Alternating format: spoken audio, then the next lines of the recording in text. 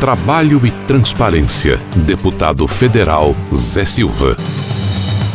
Meus amigos e minhas amigas do município de Lagoa Santa, tenho uma notícia importante para vocês. O pagamento da minha emenda parlamentar de 100 mil reais para ajudar no atendimento de qualidade da saúde de toda a população.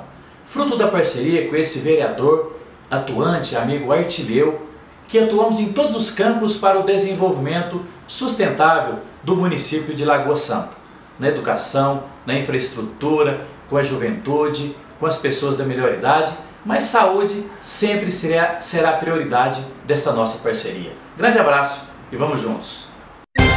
É você sabendo de tudo. Deputado Federal Zé Silva. Vamos juntos.